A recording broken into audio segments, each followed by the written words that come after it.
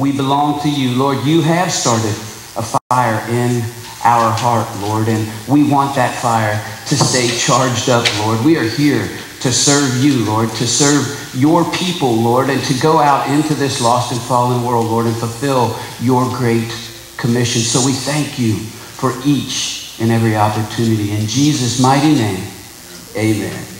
Amen. And so the title of today's message is Fired Up for Jesus. And the foundational verse that we'll be in today is Luke chapter 12, verses 49 and 50 messages. We've been in the Firestarter series now for a while. You know, this is message number 11. This is part number 11. Sometimes messages can be too long. Earlier this year at one of the better known Catholic universities, uh, Yale University, the head bishop had all the students come into the university on the first day of school. Freshmen, sophomore, juniors, seniors, the whole faculty came in. He put that same logo that you see up there, he put that logo up onto the screen. And then he spoke for 30 minutes on how the Y in Yale stood for youth. Another 30 minutes on how the A stood for academics and achievement. Spoke for 30 more minutes on how the L stood for leadership and 30 more minutes on how the E stood for energy and enthusiasm. So after two hours of this, right, anybody in that stadium that was still awake was, was you know, simply bored to tears, right? But as he was wrapping it up, this one lone student got up out of his seat, walked to the front of the stage, knelt down, and began to pray. The bishop was totally impressed. He left the stage, went and knelt down in front of the student.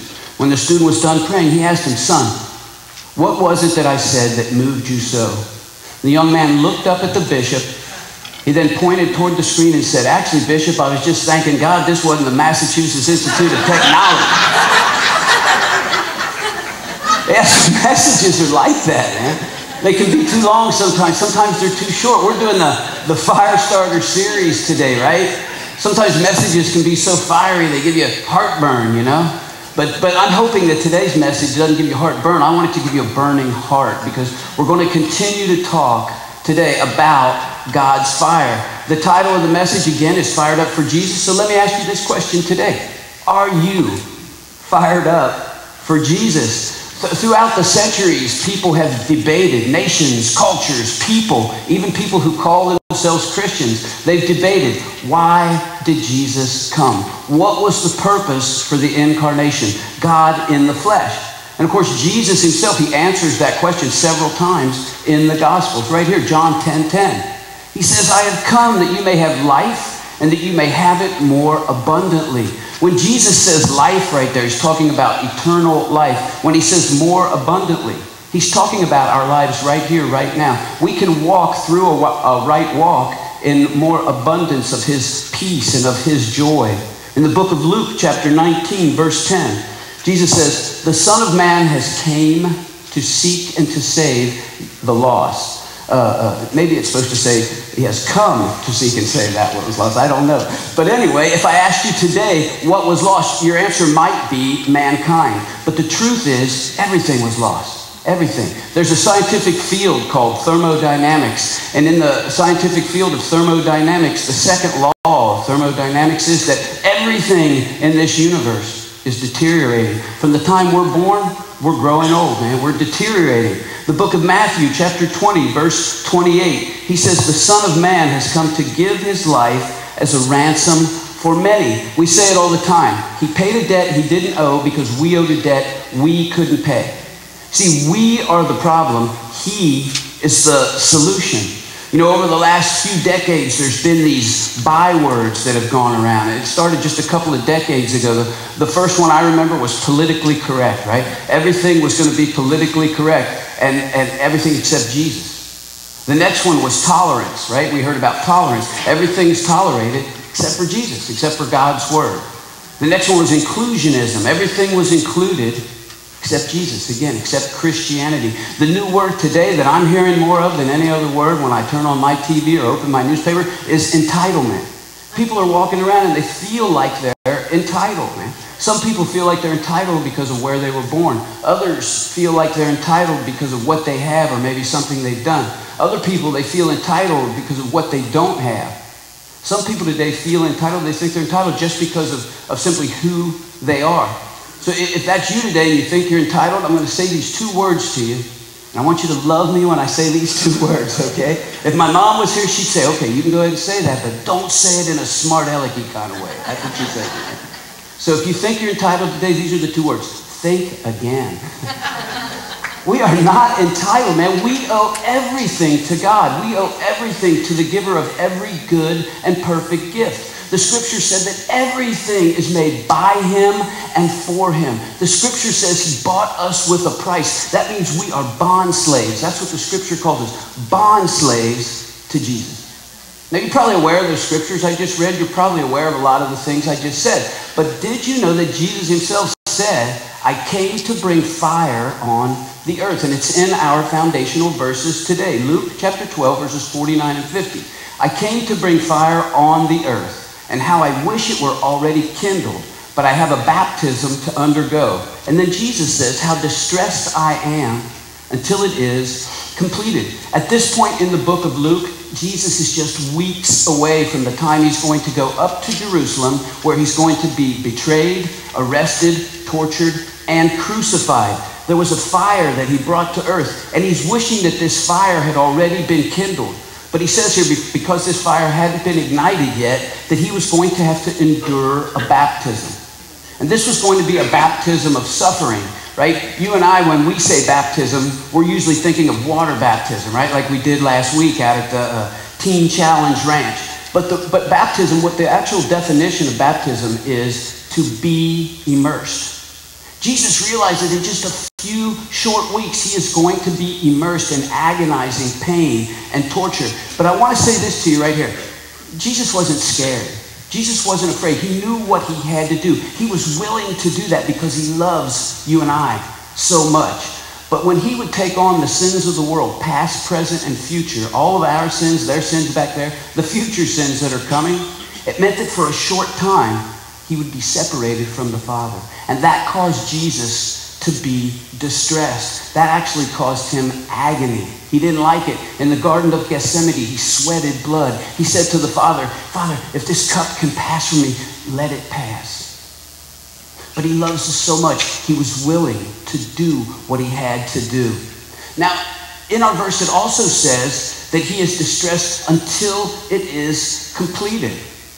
What he's talking about there when he says until it is completed, he's talking about the Advent. He has come, right? You and I, we're in the middle of the Advent. We're in the middle of this thing that's called the age of grace. That's why he came to bring a fire. We're the body of Christ now, and our job in this Advent is to keep spreading that fire to other people, to let people know the power of God, the healing power of Almighty God. In the, in the scriptures, it gives this wonderful analogy of Jesus as the bridegroom and you and I, believers, the ecclesia, the church, the called out people of God. It calls us the bride, right? So, using that analogy, I want to tell you where I believe that we are today as the bride of Christ. I just finished doing a wedding last week. I'm going to do another wedding next week and another wedding the week after that. The spring and the fall. I'm going to do a lot of weddings, right? So at a wedding in the natural, right, the groom, he comes to the church on his wedding day and he walks around the church and he greets people. And then when it's time for the wedding, he ascends up to the altar, right? He comes up to the altar. He usually stands right about here, right? Well, Jesus, he came to this earth, our, our bridegroom, born of a virgin. He walked this earth. At age 30, he began his earthly ministry. Three years later, he would be crucified on the cross. Three days after that, he would rise again, conquering death and the grave. And again, walk this earth for 40 days for over 500 people to see.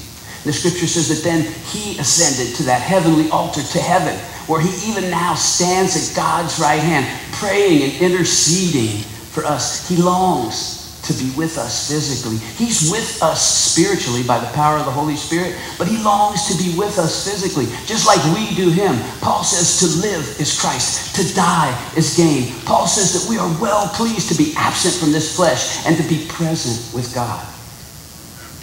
Oh, some of the bridesmaids and the, and the groomsmen, they've already ascended to the altar, just like in the natural. Our loved ones and our friends, they've already gone. Their, their spirits, their souls are with Jesus now, right? And they await, like you and I do, that bodily resurrection when we're all going to be together physically, in the physical with our Lord. In the natural, a bride, if everything goes the way it's supposed to go, her father's going to walk her down that aisle and give her away to the groom. Jesus refers to you and I, his disciples, when he talks about us to the Father, he refers to us as Father, those that you have given to me. And the Father says the day we receive Jesus into our hearts, His Holy Spirit, His fire comes to live in us. So even though we're walking down that aisle towards God, He's with us every step of the way. That aisle, it represents that straight and narrow path that the Bible talks about that leads to heaven. In the natural, if a bride would stumble coming down the aisle, people would jump up to her rescue. They would help her to regain her footing. In those pews, man, in this spiritual wedding, there's believers sitting there. If we stumble, we bear one another's burdens. We jump up and help each other. But there's also people sitting there that don't know the groom. They're wondering, man, what does the bride see in him? And just hopefully, they're going to nudge that believer sitting next to him and say, hey, why does the bride love the groom so much? What does she see in him? And then discipleship is going to begin. Church, I believe that the bride of Christ is well over 90% done on this walk down the aisle. I believe that any second we can hear the trumpet call of God, we can hear the voice of the archangel, and the rapture of the church is going to happen. You'll find that in the book of 1 Thessalonians, chapter 4, verses 13 through 18. They call it the catching away. Any second we could be there. And the scripture says that while this earth endures a seven year tribulation, you and I, we're going to be at the wedding feast of the Lamb with our bridegroom. And then, just like the bride and groom in the natural, they're going to leave that church. They're going to leave that reception with that bride dressed in white. They're going to go out and rule and reign over their lives. The scripture says, You and I are coming back with him. We're going to be dressed in white. We're going to ride on white horses. You may not know how to ride a white horse or any horse, you know? But you're going to know how to then because you're going to have seven years to learn how. We're going to ride back with him and we're going to rule and reign with him right here on this earth, man. Jesus loves us so much. He wants to be with us. That's what he brought that fire for, to live in us so that we would know him and get to know his ways so that we as the bride could get prepared. Just like a bride in the natural, she gets prepared before the wedding. That's what's happening in our lives right now. Jesus brought this kind of fire to earth. When it says bring fire there, the, the word in the Greek is uh, photia, means to bring fire. What that means is it actually means to cast fire or to throw fire. Jesus came to be this holy flamethrower, man. And it's, it's not literal fire, right? It's, it's spiritual fire. He's talking about bringing the burning, dynamic, exciting presence of God into the lives of people. He brought it, and now we help share it. Amen? Amen. I want to show you today from Scripture what that fire is and what it can do in our lives. We've almost, I got five points. We're going to go through five points. The first one is right here. We just touched on it. And it is God's fire illustrates his dazzling presence. In the scriptures, God would uh, reveal himself sometimes through a physical representation. It's called a theophany called a theophany. The most common theophany in Scripture is fire. Now, now, there are several definitive statements about God in Scripture, right?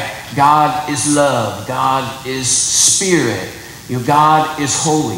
But this is a symbol of God. Fire is a symbol of God. God's not fire. God is like fire. And so he uses that to symbolize his awesome presence. When God first spoke to Moses, right, he spoke out of the flame of the burning bush. Later, he appears to all the Israelites on Mount Sinai as fire on the mountain. Check this out from the book of Exodus 24 17.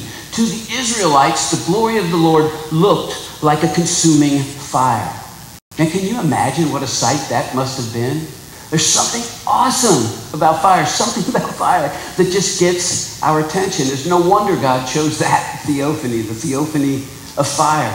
Later, Moses would build the first tabernacle, right? Make the first sacrifice. And again, God reveals himself by fire right here.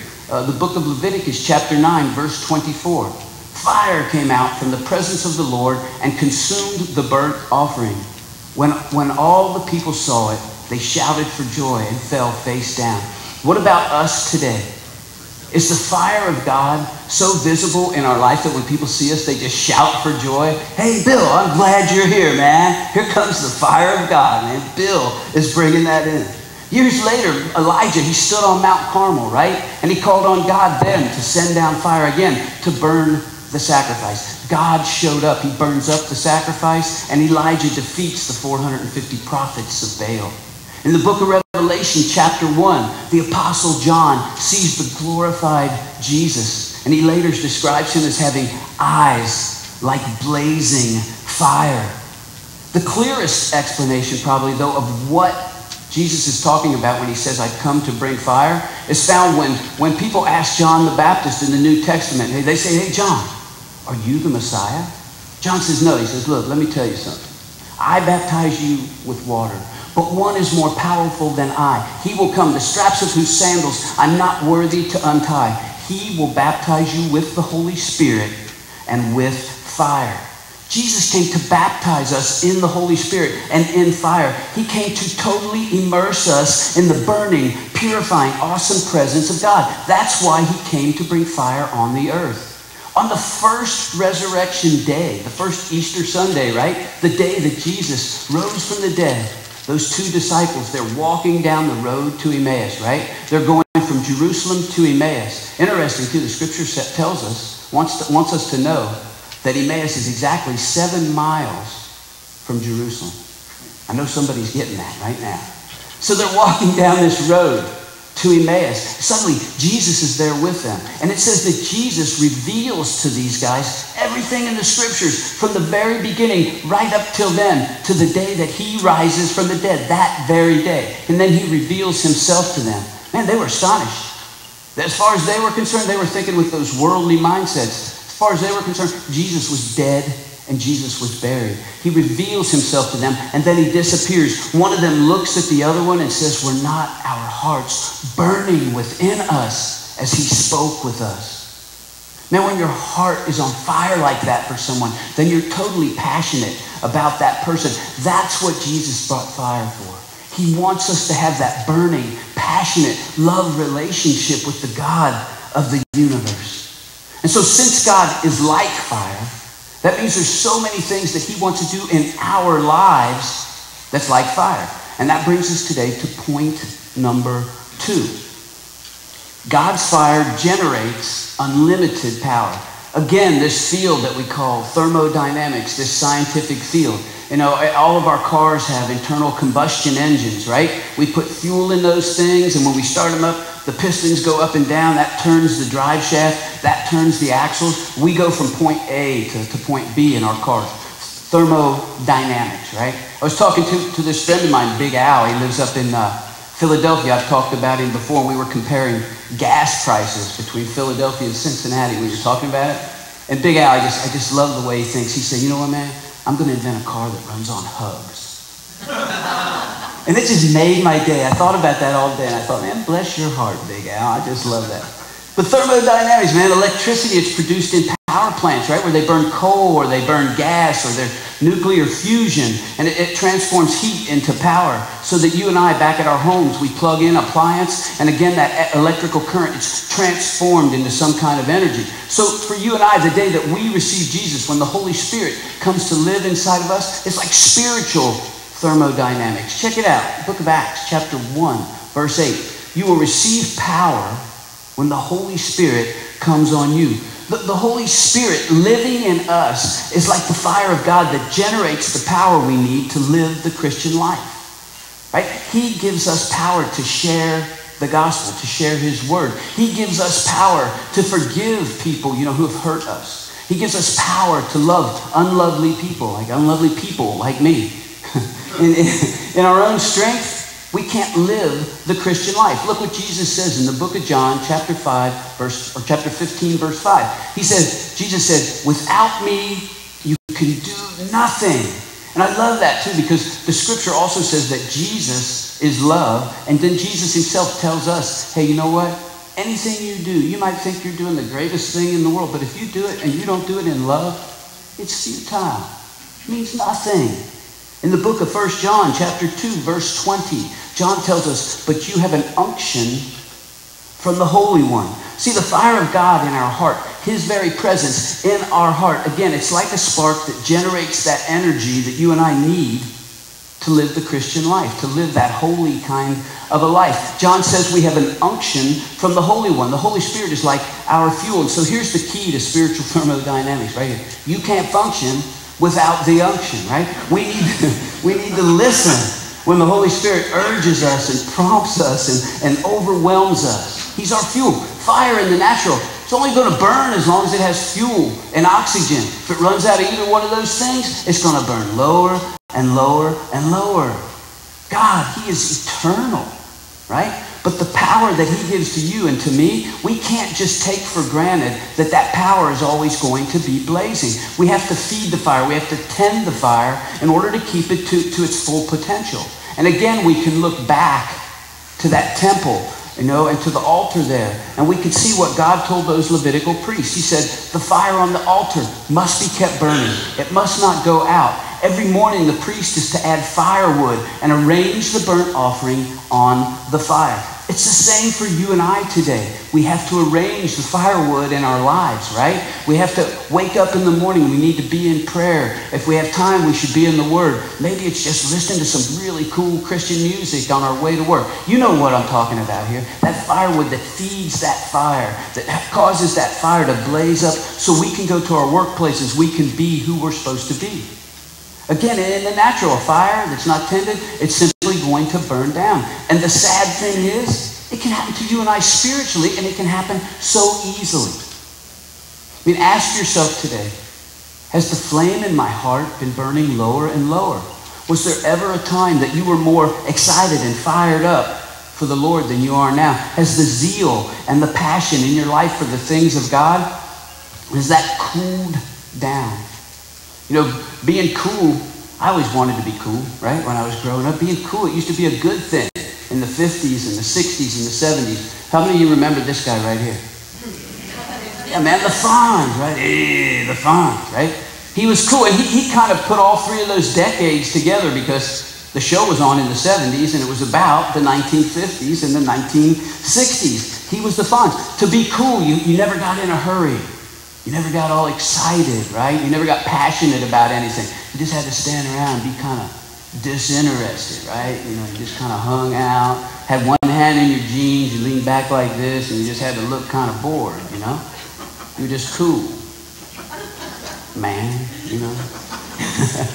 yeah, you were just cool. But the problem is that in the body of Christ, we can't be cool. And I really think it's an issue in the body of Christ today. I think there's just too many cool Christians. And, and I think that that coolness kind of com- causes compromise. Look what Paul said in uh, 1 Corinthians chapter 4, verse 10. He said, we are fools for Christ. In the body of Christ today, we got too many people who want to be cool and, and who don't want to be fools for Jesus. Now, understand that when Paul says that, he's not saying that we go out and act like a bunch of lunatics, right? You know, I mean, we're not supposed to do that. But the, but the book of uh, 1 Peter tells us that the world looks at you and I as peculiar people. They think of us as fools. Why? Because we do the things that, I said before. We forgive people who've hurt us, man. We love unlovely people. We reach out to people. We're not vengeful. We don't covet things from our neighbors. And they look at us and they think, wow, you guys are just fools. You guys are, are just doormats. But that's not what Paul's talking about here. He's talking about being so on fire for God that we're willing to do anything to reach someone for Jesus, to let people know about God's power. In many ways, we, we've replaced the, the fiery, dynamic Christian life for some sort of a mediocre, dispassionate substitute. Now, I'm not talking about us right here so much, but I'm talking about out there in the world. We have people across our nation right now who consider themselves to be Christians because they got baptized when they were a baby. They consider themselves to be Christians just because they were born in the United States of America or because their mother and father were Christians. We need to be on fire for Jesus. We need to let them know what Christianity is all about. In the book of uh, 1 Thessalonians 5.19, Paul said, don't quench the spirit, right? We, we wouldn't put, we wouldn't put uh, water in the gas tank of, of our automobiles. So why do we water down God's power in our life? And I'm guilty of that, man. I've done that so many times. Spiritual fervor, it can be quenched or watered down by simple apathy. That's why, that's why God told those priests, hey, it's daily discipline to keep adding wood to the fire. If you and I neglect our quiet time, if we neglect that time of Bible study, that time of prayer, if we neglect that time being with other believers, worshiping God and being in God's Word, we need to be in God's Word alone and we need to be in God's Word when we're together because God's Word is true. God's Word is truth. It, it's the kindling for the fire in our heart. Understand, man, if we don't, if we don't do those things, our fire is simply going to dim down. Look, I'm not talking about losing your salvation here. You're not going to ever hear me preach that. You, you, don't lose your salvation, but you lose the joy of your salvation. You lose your zeal. You lose your edge and you lose your fervor for the things of God. Without God's fire to light the way, it's so easy for the darkness to creep up on us. I've got this uh, uh, friend who's a pastor out in Adams County, and he has this small church. It's got like 50 people in his church, okay? And he's been there for about five years. He knows everybody in the church. He's in the grocery store one day. He's talking to this guy in line in front of him. And so after they talked for a while, they, they, he says, well, we introduced each other. And when he told him he was a pastor and where his church was, the guy said, hey, I'm a member of your church.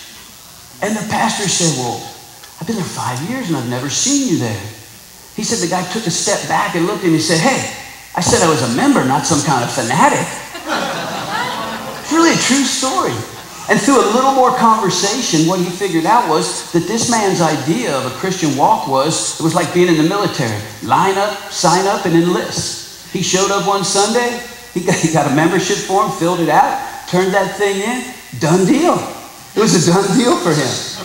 But I have to tell you, man, when I get more concerned about being labeled a fanatic than getting on fire for Jesus, I know that something's wrong in my life. Check out this from Leonard Ravenhill. Leonard Ravenhill was a, to me was a 20th century prophet. He lived in England. He came to the United States. He never went back to England. He just lived and died here. He says, You may belittle experiences and speak of the dangers of emotion, but we are suffering from a species of Christianity as dry as dust, as cold as ice, as pale as a corpse, and as dead as old King Tut. We are suffering not from a lack of correct heads, but from a lack of consumed hearts. See, in a lot of ways, we've taken God's word and we've intellectualized it. So many people know Scripture today, but we don't need to just intellectualize it. We need to become impregnated by it. We need to live it, breathe it, walk it, let people see it, man. God never intended for his church to invert and become some sort of a deep freeze, right? When, when I get ready for church in the morning, I don't, I don't pull my clothes out of the deep freeze, out of the refrigerator, pull them out of the closet. But, but the church, it should be a place where a group of Christians come to celebrate God. A group of Christians who are already ignited for service, coming together to share their fire with each other. I mean, so many times I find myself these days stopping and saying, and what am I thinking? What am I talking about here? What am I doing? I have to put my hand over my heart and say, man, is that thing still warm? Is that thing still beating inside of there? Where have I been? What's going on? How have I allowed this to happen, God? You know, and if I feel like it's not warm and it's not beating, I know that it's God's way of telling me, hey, John, you need to reignite, dude. You need to stir those ashes of apathy. You need to reignite that zeal and that fervor. See, see, how do we do that? I mean, you ask yourself all the time, how do I do that, man? It seems like so much is piled up in front of me. That's just it. We've got to get rid of those things that are in the way. And that brings us to point Number three, God's fire eliminates our impure qualities. The Holy Spirit comes to live in our lives, right? The fire of God comes into our lives to make us holy. To be holy means to be pure and clean. Now, none of us are perfect, right? We're, we're a work in progress. That's what's going on here, right? But I have to tell you, I went to this meeting with a, with a group of uh, pastors, right? And they were from all around, not just in the city, but outside the city. And we had decided to come together. I got invited because we were going to talk about things we could do to do that, to help ignite the spark, you know, in our church and bring our churches together, bring that fire together. But somehow, as the meeting started, we got totally sidetracked and we began to talk about words. It was the strangest thing because we, we mentioned the Holy Spirit, and someone said, Well, you know, it's okay to say Holy Spirit, but we don't want to say the word holy too much. And I was like, Well, you know? And, and they said, because you know what? That word sounds too churchy. And every time they would say church, they would do like this. It sounds too churchy. And they would say things like, we don't want to say the word ministry because that bothers people. You know, we want to use different words in that. And the Holy Spirit began to just convict me. Hey, you know what's happening here? The enemy's just deceiving you guys. He's just keeping you guys busy. He's keeping you guys focused on things so that you're not being focused on the things that you need to be focused on. And so we began to talk, and finally, we began to, to, other people began, I could tell, they began to kind of see this. They began to see this going on. And finally, someone just said, hey, you know what? Let's stop. Let's allow God to just purify this whole meeting. Let's allow God's presence to come in here and get where we're supposed to be. And we all agreed. All of a sudden, everybody's like, yeah, I don't know why this is going on. I don't know how we ended up in this kind of a conversation. But the devil, he'll try that. He'll try to deceive us as individuals. He'll try to deceive us as groups, as small groups, as, as churches, whatever we are. He wants to deceive us. He wants to keep us busy so that we're not allowing God in to purify us, so that we're not being about God's business. Malachi chapter 3, verses 2 and 3. It says, For he will be like a refiner's fire or a launderer's soap. He will sit as a refiner and a purifier of silver. He will purify. Now, because we're in the fire starter series, you probably think I'm going to jump right on that refiner's fire there, right? But I'm not. I'm going to jump on the launderer's soap. See, because God's fire is like a launderer's soap. And also because I used to own a dry cleaning business, right? I used to have a dry cleaning business. I had it for like seven years. I built that thing from the ground up. And periodically, people would come into the dry cleaners and they would have a garment that had a stain on it. And they would come up to me, oh, thank you so much. Bless you, Nick. Wonderful servant of God right there. Thank you. Appreciate that. Ah, just didn't want to quench the fire. I would have brought one up with me. No, just kidding. But anyway, people would come into the dry cleaner from time to time, right? And they'd bring a garment and have a stain on it. They'd say, hey man, can you get this stain out? And I'd say, well, what is it? Well, I, I, mixed mustard and mayonnaise and horseradish, and I put it on a big potato chip, and when I went to take a bite, it broke in half and fell on my shirt, right? So what we would do is we would take, we'd say, well, look, we'll try. And so we would go get mustard and ketchup and horseradish. We'd mix it together. We'd put it on some cloths, and we had all these chemicals and these brushes, and then we would work on that stain till we got it out, right? And we would agonize sometimes over getting that stain out because we were in business. You know, we wanted to be pleasing to our customers, right? We wanted them to come back. But once we got the stain out, what we did was we write it in a book. Hey, mustard, ketchup, horseradish, do this. This is what you do to get rid of that. It's the same with the stain of sin in our lives, with, with our past, right? We learn from it, but we don't have to live in that stuff. We don't have to walk in that day in and day out. We learn from it, but we don't live in it. In 1665, the residents of London were dying by the thousands because of the bubonic plague. A third of London's population, their whole population was wiped out. A third of their population, 30,000 people. Doesn't seem like a lot by today's standards, but still, a third of their population. the, rat, the uh, rats and fleas, you know, it was unsanitary, and they were spreading the bubonic plague all over London. There was a famous nursery rhyme from that time period, and you guys probably all know it. It was Ring Around the Roses. It was about the bubonic plague. It said, Ring around the roses, red rings were the first sign then a pocket full of posies. They believed if you put a little bouquet of posies in front of your nose and went out in public, you wouldn't breathe in the bubonic plague. And then they would say, tissue, tissue. It's supposed to be the sound of sneezing. They would say, tissue, tissue. That's where we actually get the name for tissues, you know, that we blow our nose in and all that. And then they say, we all fall down. The infected person would die. But on September the 2nd, 1666, the Great Fire of London broke out. All the structures in medieval London, they were wooden, so the whole all of London burned down. It took five days. Burnt everything down. But when the fire finally went out, what the people realized was that all the rats and the fleas and the unsanitary conditions had also burned up in the fire, and the bubonic plague was gone. The fire cleaned the city of the impurities that were killing everybody. They actually changed the end of the nursery rhyme from tissue, tissue, we all fall down, to ashes, ashes, they all fall down talking about the rats and the fleas. But, but that's what the fire of God can do in our lives too. It's a purifying, cleansing flame. The fire of God, it can come into our lives and it can cleanse us from impurities that we didn't even know were there. Most of you, I look at from, I know everybody in here. Most of you guys know what it's like to go through the refining fire. You know, it's hot, it's uncomfortable. Maybe you're going through the refining fire right now.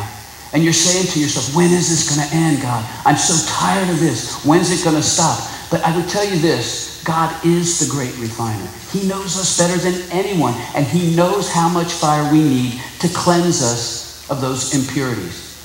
And as I was studying this, I was, I was Googling refiner's fire on the computer, and I found this lovely poem. Some of you may know it, but I wanted to share it with you. It's called The Refiner's Fire. They, they don't know who the author is. And this is what it says. It says, God sat by a fire of sevenfold heat as he placed in his precious ore. And closer he bent with a loving gaze as he heated it more and more. He knew he had ore that could stand the test, and he wanted the finest gold to mold as a crown for the king to wear, set with gems with a price untold. So he laid us as gold in the burning fire, though sure we would have told him nay. And he watched the dross that we had not seen as it melted and passed away. And our gold grew brighter and yet more bright, but our eyes were so dim with tears. We saw but the fire and not the master's hand, and we questioned with anxious fears. But he waited there with a watchful eye, with a love that is strong and sure. And his gold did not suffer a bit more heat than was needed to make it pure. Man, I just love that. I'll put that online. I'll, I'll get that online after the celebration today. But if God is taking you through that purifying fire right now, I would say this to you. Don't resist him. Trust him. Allow him to purify you of those habits and those attitudes that are keeping you from being pure gold for him.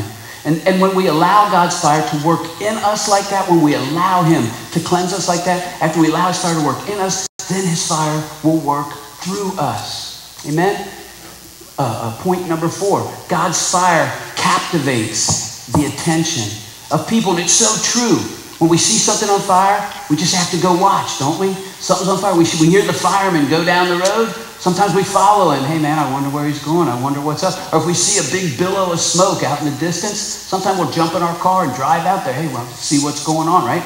There was an oil well that caught on fire down in uh, Texas. This thing was burning out of control. A 10 alarm fire, man. The firefighters from Midland, Texas and Odessa, Texas came in with all their equipment, but none of them could get close enough to put out this fire. So they're all standing there watching this fire, and the owner of the oil rig writes a check for $500,000. He said, I got a check here for $500,000 for anyone that can put the fire out on that oil rig. Right about that time, this old dilapidated fire truck from a place called No Trees, Texas. It's a place called No Trees, Texas. I looked it up. There's no trees there. Why they call it No Trees, Texas. The No Trees, Texas volunteer fire department comes down the road goes right past all these fire trucks, these big time fire trucks, rolls to a stop in front of this oil rig. These guys jump out of this truck yelling and screaming. They hook up their hoses. Some of them are squirting out the fire. Other ones are squirting the ones that are squirting out the fire. But they put out the fire. They come walking back up the road, totally disheveled their eyebrows are singed off. They're filthy. They're dirty. They're breathing hard. They're thirsty. And the owner of the oil well walks up to the chief, the fire chief from No Trees, Texas Volunteer Fire Department, and he hands him a check for $500,000. He stands there for a minute, and the chief's huffing and puffing, and he says, Chief, what are you going to do with all that money? And the chief says, Well, the first thing I'm going to do is fix the brakes on that truck.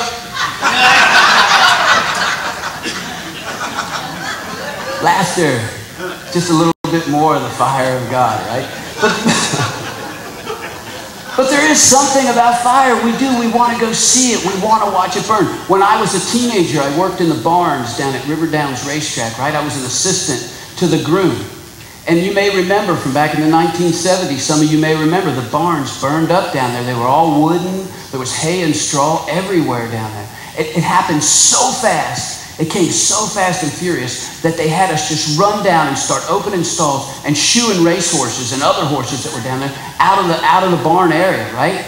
I mean, for seven days they were finding thoroughbred racehorses up and down the Ohio River. They changed the speed limit on 52, uh, Route 52, all the way to Moscow, Ohio. They changed the speed limit to 30 miles per hour because for seven days horses were just walking out of the woods onto the road right in front of cars. It was amazing. But I remember a Catholic priest came down. The fire got to a point where it was just out of control, so we were all standing back. And a Catholic priest came down from the Catholic Church with some members of his church to see if he could aid people, you know, if there was anything that he could do for people. So we were all standing there watching the church, and I remembered this while I was writing this. He looked at the guy next to him and he said, you know what, man? There's more people watching this fire burn than are going to be in church tomorrow. He said, there's 20 times as many people watching this fire is going to be in church tomorrow. And then he said, I guess if we want people to come, we just need to set the building on fire, you know? and so was, we all laughed, right? But I was thinking about that, and I thought, you know what? He, he almost had it right. We don't want to set the building on fire. We want to set these temples right here on fire. Right? That's what happened that day at Pentecost. A group of Christians came together, they got on fire for Jesus, and another group of people came to check it out. You can read it in the book of Acts, chapter 2, the first four verses. It says, it says they came together, they saw what seemed to be tongues of fire, right? Those tongues separated and came to rest on each of them. On each of them. And, and after that, people came, and it said they came together in bewilderment. They were amazed, perplexed, and they asked one another, What does this mean? The folks in Jerusalem, they heard about it. They came to check it out. 3,000 people got saved that day. Two days later, 5,000 more people got saved. I mean, if we want to fulfill the Great Commission, we should need to get on fire for Jesus. Uh, uh, uh, Charles Spurgeon, the great pastor, the great preacher, he said this to young preachers all the time build a fire with God's word, and people will come to watch it burn. And that's good advice, not just for young preachers, man, that's good advice for all of us, right? We're all called to a royal priesthood. I mean, that's what God's word does. I want our church to be a church on fire. I want the churches in our community to be churches on fire. I want the body of Christ around this world to be on fire for Jesus. Because if we're on fire, people are going to come in the multitudes to come and watch us burn. And hopefully they're going to find Jesus in the process. So let me ask you today, are we a church on fire? Or are we just an extremely warm church. You know, the warmth of friendship, it's not the same as the holy fire of God. I fear that in the body of Christ, I really feel this, that in the body of Christ, the major, the whole body of Christ around this world, that like I said before, there's so many people who consider themselves to be Christians who aren't Christians. They go out and they tell people that they're Christians. And then there's a lot of Christians too who set their spiritual thermostats so low that they orchestrate the Holy Spirit right out of their Christian walk. They're not walking in the Spirit. They're more interested in being cool Christians rather than red hot servants for Jesus. And remember this too from, from Scripture. God doesn't like churches on fire, God likes individuals on fire. At Pentecost, each individual had his own little flame. It was when they came together with those flames that they had a church on fire. See, our church, the churches in our community, the body of Christ around this world, going to be a body of Christ on fire when we all get on fire and then we come together. And, and understand, I'm not saying that we're not a church on fire. I love our church. I love this body. I love what we do here. But I am saying this beware. Don't let the enemy keep you busy with worldly things. Listen to the Holy Spirit. Listen to what the Holy Spirit tells you to do and walk that thing out and then bring it together in here. Bring it together when you meet other believers out there. Start that kind of a fire. You know, it's easy to tell when somebody's on fire for Jesus. That brings us to point number five, because God's fire does that. It radiates through his servants, man. You, you can't, if you got the fire of God in you, you can't keep it a secret. It's, it's like one of those one of those big iron bars. Raj and I, we used to work at the J.W. Harris Company, man, and they would put those big iron bars in those furnaces, and, and they'd pull those things out those tongs, and those things would be glowing hot, you know? And that's what we need to be as Christians, you know? When we step out every day, we need to be glowing hot. Angels in Scripture, they're described as having glowing faces because they're around God's glory. Moses, he wasn't even around God's glory. He saw the afterglow of God's glory. And, and his face shined so bright, they had to put a veil on it because they said it was hurting their eyes.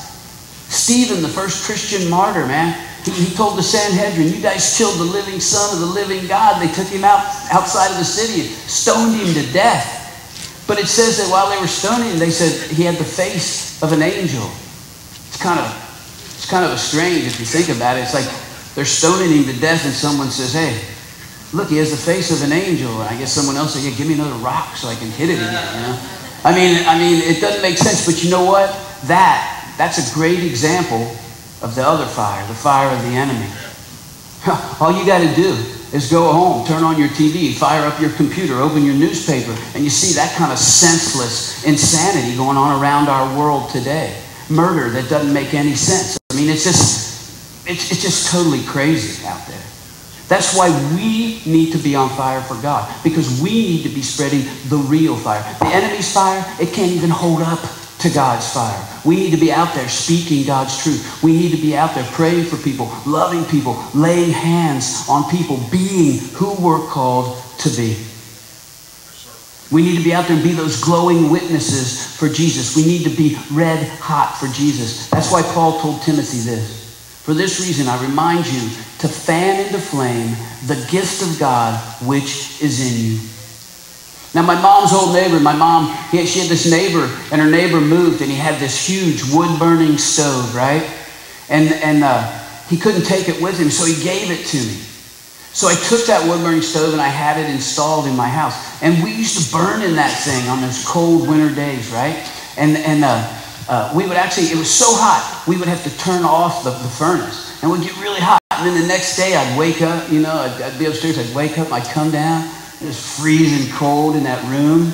And I'd open up that stove and there'd just be this like mat of ashes down in the bottom of that stove, you know? So I'd look at it for a few minutes and then I'd take that poker and I'd stir those ashes. that thing just burst into flame. And so I'd grab some firewood and I'd throw that firewood on there, and that, that stove would just start pumping again, man. Just start pumping out the heat. But that's the way we need to be in our lives too. We need to allow God to stir up those ashes of apathy. If we're not stirred from time to time, we're going to become cold and carnal. We need to reignite the fire of God inside of us, man. Church, remember this. We need it for power. We need the fire of God to stay pure. And we need the fire of God to be those kind of Christians that attract others to God. And then we need that fire to be those kind of Christians that after they're attracted to God, that we're there with them, that we're there for them. Like I said, we don't need to be go-to people. We need to be go out and do it people. That's what we need to be. That's what the fire of God will do in us. You know, I, I, made these comparisons today between the temple of God in the Old Testament and the altar with the fire on it there, and the fact that you and I are the temples of God today. I want to share this with you from Second Chronicles chapter 7. It says, this is when Solomon dedicated his temple. It said it was most beautiful of all the temples. It says when Solomon finished praying, fire came down from heaven and consumed the burnt offering, and the glory of the Lord filled the temple. It says when all the people saw the fire of God coming down, the glory of the Lord, they knelt on the pavement with their faces to the ground, and they worshiped.